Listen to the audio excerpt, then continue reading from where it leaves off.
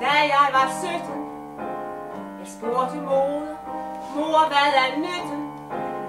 Med et barberblad til damer, det står i reklamer, men hvor har de skæg, der skal af?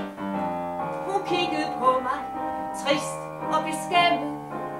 Mit lamse ben, jeg har ganske forglemt, at du skal fatte dit greb om en lady shame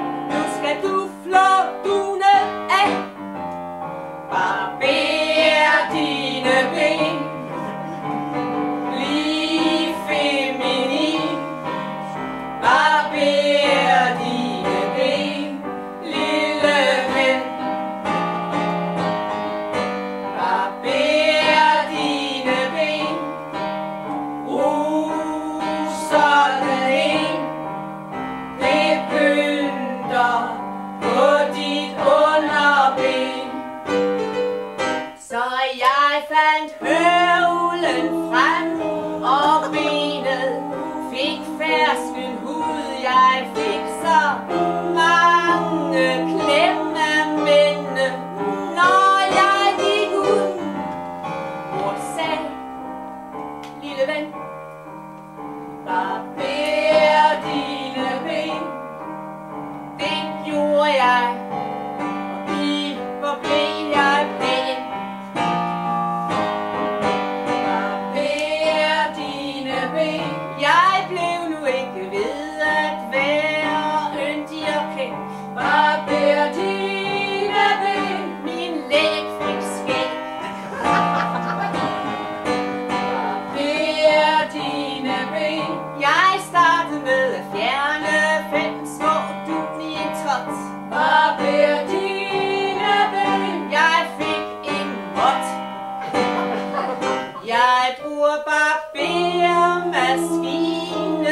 vokser, kræm uden lugt, en ben.